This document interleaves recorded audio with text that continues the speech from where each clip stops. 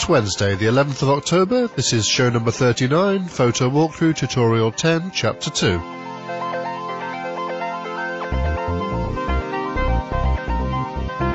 And on today's show, we're going to complete the colour version of our Mow Cop Castle image.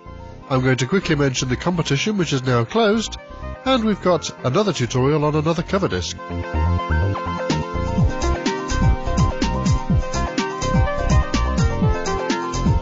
Yes, the competition closed last Friday, and at the end we had 70 entries. The standard has been absolutely excellent, and there have been some really creative approaches to the subject. You can see the entries at www.photowalkthrough.com slash competition1 underscore entries.php, and the address is there on the screen as well. One of my Photocast Network colleagues, Martin Bailey, has agreed to help with the judging, and Martin produces his own podcast, the Martin Bailey Photography Podcast, where he gives really solid advice and he always illustrates it with examples from his own work. I definitely suggest that you give that show a try.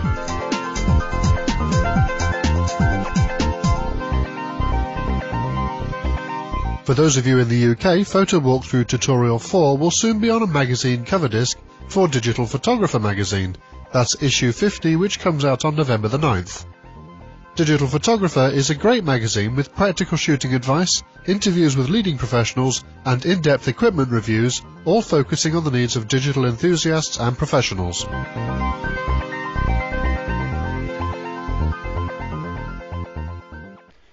Okay, let's get started with today's edits. The first thing I'm going to do is I'm going to give this a sort of a Gaussian blur, and this is an effect that you might have seen uh, called a soft focus, and in uh, traditional photography, it was done with a number of different ways of um, uh, quite quite manual ways, including things like putting a gauze over the lens or taking a lens filter and smearing Vaseline on it. There's a variety of different ways of doing it, but we can do it here in Photoshop. So let's jump back. Now the reason I'm doing this, just to quickly fill you in on my thinking, is that this shot, if I zoom in a little bit, it's it is very high contrast. We, we're going for a high contrast look on this, but it's starting to look a little bit sort of bitty.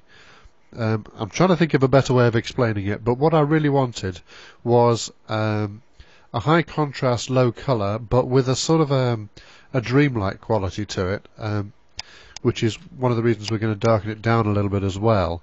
But uh, I wanted to give it this sort of uh, misty, dreamlike quality. So the way I'm going to do that is I'm going to go in, a, in our layers palette. I'm going to grab hold of the background layer, and I'm going to drag the background layer onto the new layer icon at the bottom of the layers palette, and that's going to give us a background copy. And I'm going to call that. Oh, I'm going to misspell it.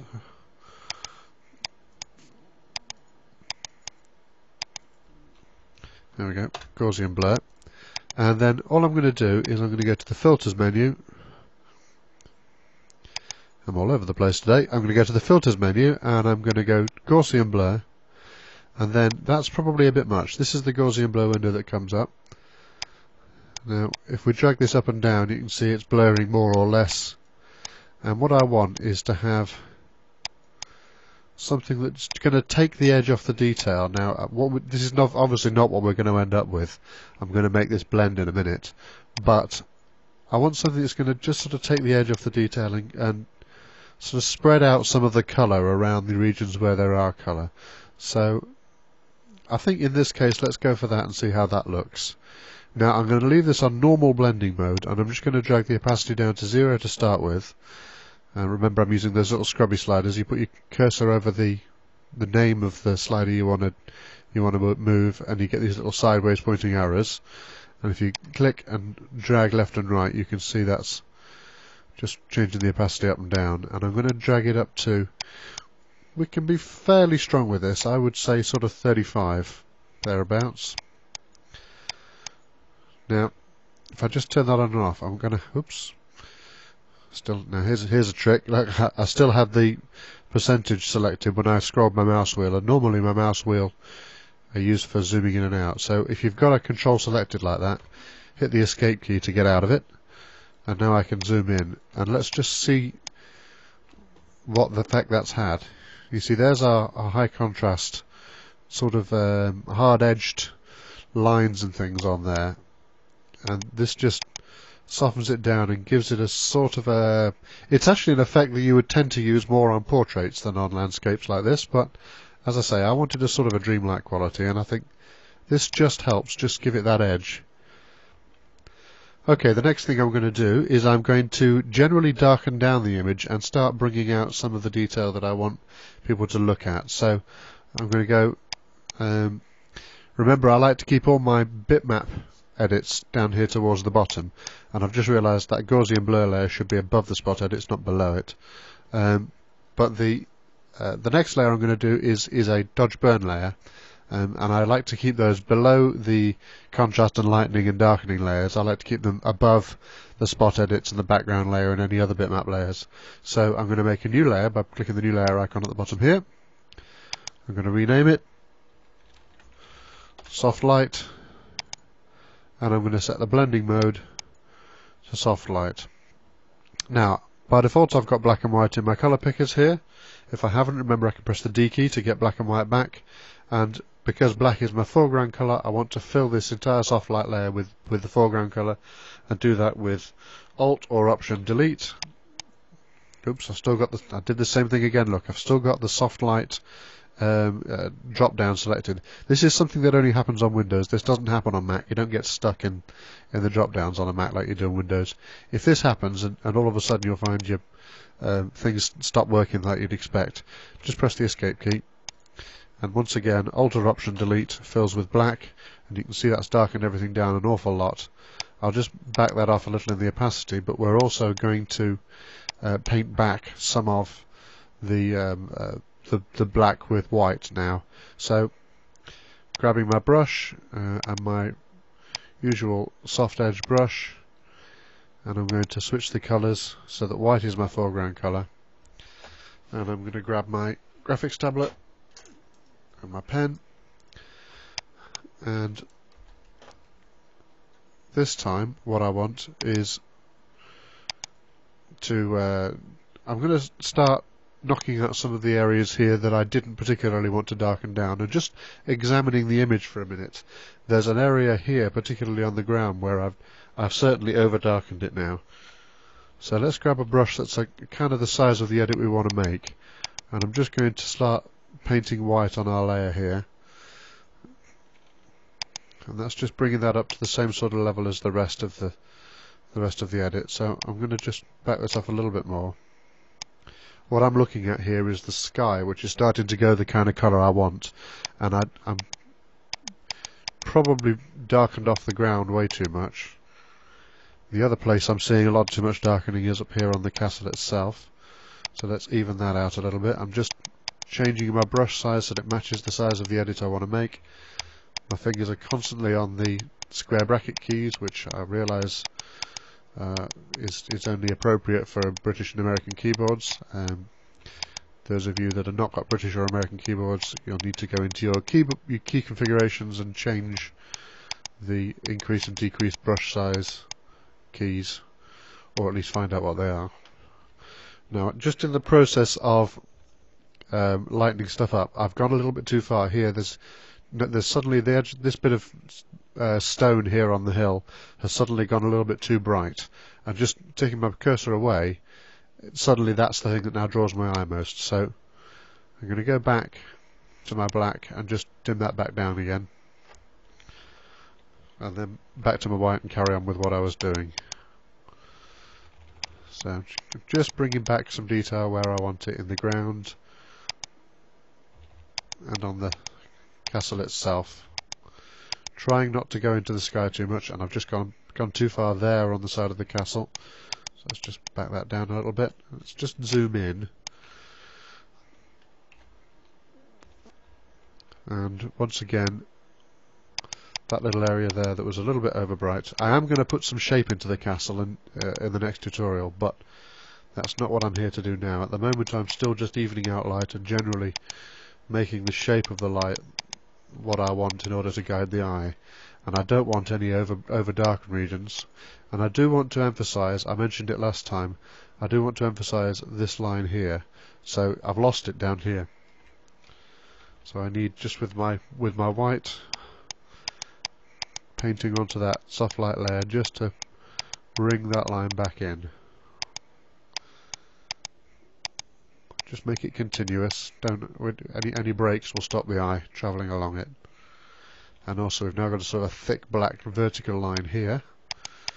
So let's just soften that down a little bit. I don't mind it going dark in the corners. You all know I'm a big fan of vignettes. Um, right, now, let's look at this sky over here, because we've got some nice interesting cloud detail here. Um, and let's just turn on and off our layer and see what it's doing. Okay. Um, I'm going to just... I'm seeing this horizon here. It seems to be a little bit dark. So I'm just going to, again with the white, just layering in some gentle brushstrokes there. And those darkened clouds, probably a little too dark. They're going to get darkened up again in a minute, so I, I know that I need to just work on those a little bit and make sure that they don't go too dark. I don't want to if anything that goes goes too dark is going to, going to create too much of a contrast around it, and it's going to pull the eye too much that direction. So I definitely don't want um, I don't want the eye being drawn away from my main subject, which is the castle up here. So once again with the white brush I'm just keeping these clouds here under control because the next thing I'm going to do is I'm going to make another soft light layer. Let's just quickly look at that one on and off. It's getting there. We're starting to even things up. If you look at that without the soft light layer, we have got some overbright areas here and here and a little bit here. And if I turn this on, things are evening up. The sky goes darker. The the the tones in these areas areas of the castle and the hill come closer together and stop pulling the eye so much. So we start to have the, the image focus more on the subject of what we're trying to trying to get the viewer to look at. So um, let's leave that soft light layer alone now. And let's make another soft light layer. Uh, and with that soft light layer selected, this is going to make a new layer above it. So and once again set the blending mode to soft light. And this time I'm here really to work on the bits of the sky with some cloud in it. All I'm going to do I'm just going to drag this opacity down to 50% because I really don't want to overcook this and I and I might later on want to be able to drag it up or down a little bit. So this time instead of having a black layer where I'm painting white on it I'm now going to have a white layer where I'm painting black on it. And I'm particularly looking at these clouds and what I want to do is just pull out some of the detail in the clouds by just painting black over them. This is burning. This is this is just like traditional photography burning. So I'm just burning around the clouds, and in particular, I'm going to try and avoid making the whiter parts of the cloud go grey, but I do want the darker parts where there's edges around clouds I do just want to bring out those edges because that's going to bring out some interesting detail. So there's a couple of just little wispy bits in the distance there, in the very far distance. And if I can just let the eye see them without making them stand out too much, it's going to look great. One of the things I always try and shoot for with these images is just try and keep interesting detail throughout. I guess this is the Ansel Adams influence on me, but if you look at Ansel Adams's work, everywhere you look, there's beautiful detail all the way through the picture. And it's that attention to detail, even in the areas that you don't particularly want the viewer to look at, that keeps you stood in front of the photograph that much longer.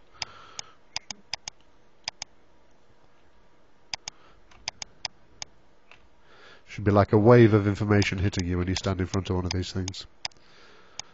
Let's just have a look in there. I think I'm just going to, on the side of the castle here, I'm just going to layer in just a tiny little bit of darkness there. Let me just show you quickly what that's done. I've very small changes, but it's just taken the sheen slightly off that bright bit there. I've probably gone a little bit too far with that, so I'm just going to grab my eraser tool by pressing the E key. I'm just going to back off that change a little bit.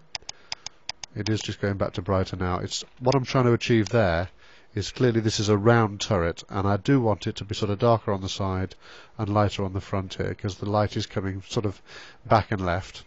Um, so I want the light to be hitting just sort of left of centre on the turret which is about here which is where it should be. And I do just want to bring out the shape of that turret but I don't want it to go like it's overexposed. So if I turn that layer on and off you can see there is just a subtle burning down there. And I'm just keeping the shape without um, hopefully without uh, letting the detail go go too bright. That's better. It's a subtle subtle little edit. And there's the same thing here just bringing back some of that brickwork Let's have a look at that. That's without, that's with, that's without, that's with.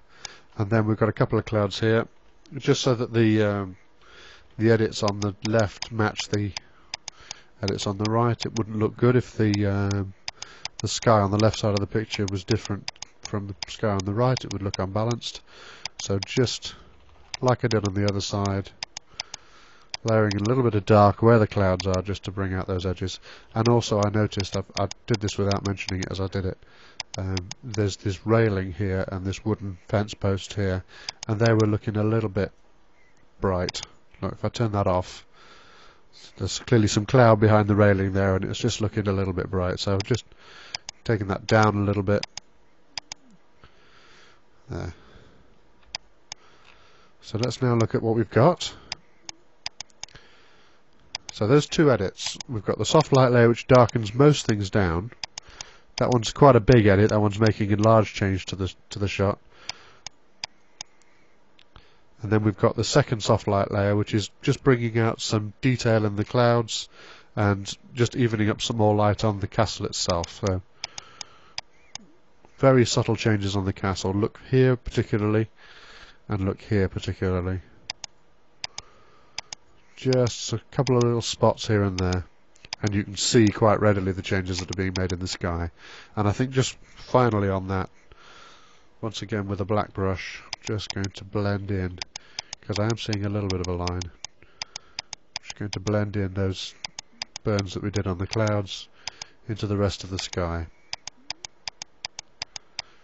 pressing very gently on the graphics tablet there just to try and layer that change in so that there isn't so much of an obvious line here and here.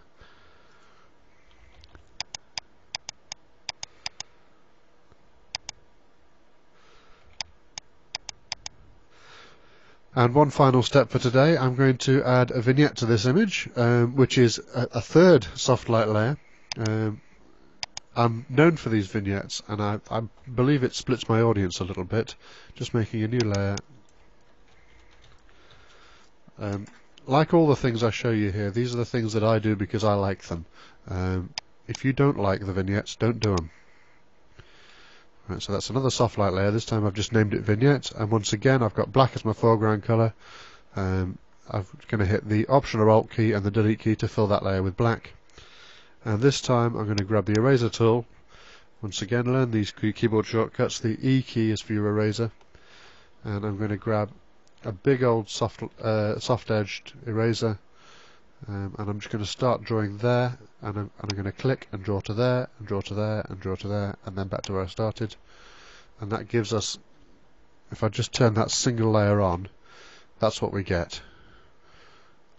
So that's alt clicking on the eyeball next to the vignette layer if you alt click and click and click it turns on and off that single layer now that's obviously way, way, way too strong. So I'm going to drag the opacity down to zero. And then I'm going to drag it slowly back up until I get this sort of effect I'm after, which is somewhere around there.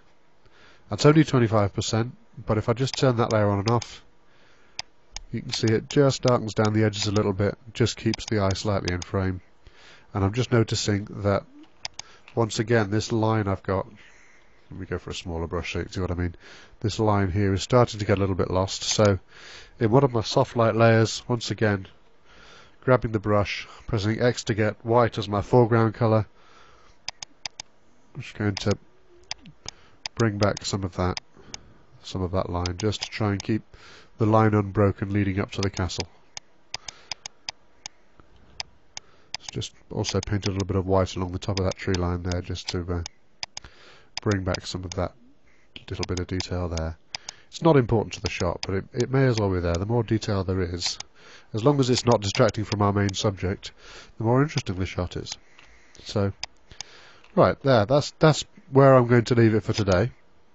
Um, I just want to uh, make a, a, final quick mention of tips from the top floor. Uh, as you all, all know, I, I, I sat in for Chris a couple of weeks ago, and then Jeff Curto sat in for Chris. And this week it's Ibarionex Perello's turn and uh, he did a fantastic show. I really enjoyed it. He did it from his car when he was sat in a traffic jam, and I think in the entire show he managed to move six miles in his car. So uh, it's well worth uh, joining Ibarionex for this week's Tips from the Top Floor show, um, and also go and check out his own show, uh, which is called The Candid Frame and there he interviews some well-known and some upcoming photographers, and it's always extremely illuminating. Ibarionex is one of my favourite shows. Uh, definitely recommend that you go and give that a try. Um, and one final thing for this week, it occurred to me that uh, 30, 30 odd shows, and I, this has only just occurred to me, but it occurred to me that not everybody who's watching is subscribed to the RSS feed, and not everybody that's watching necessarily knows what podcasting is. So I have a new short segment just at the end for um, those people who are watching through the website, or maybe have found this uh, on a cover disc, and maybe want to know a little bit more about how to subscribe, how to contact the show, and how to get involved in the community. So uh, there's a little segment just at the end of the show there for anybody that's interested in that regular information, and I will probably continue to include that for the foreseeable future. Okay, folks, thank you very much for watching, and I will catch you next week. Get the picture. Photo Walkthrough is a weekly video podcast. You can subscribe to Photo Walkthrough either through iTunes or through one of the many free podcatcher programs and websites, or by visiting our website at www.photowalkthrough.com. Subscription is free and every new show will be automatically downloaded to your computer as soon as it's released. Also, please consider joining in with the photo walkthrough community on Flickr, where you can post your own images for comment or critique and do the same for others. You can find that at www.flickr, that's F-L-I-C-K-R dot com slash groups slash photo walkthrough. Inspirational, multi-generational, here's improvisational, sensational. Get the picture?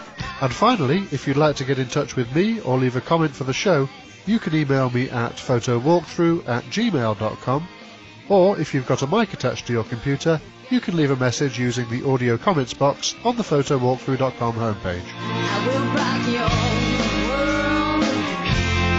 Get the picture.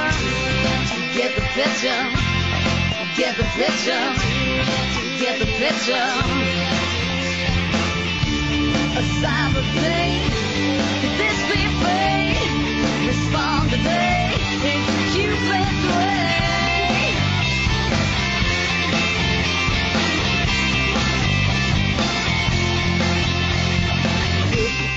quizzical, mildly metaphysical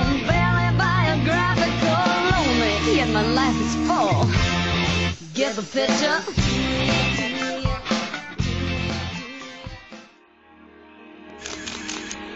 PhotocastNetwork.com, your photography resource in the photosphere. PhotocastNetwork.com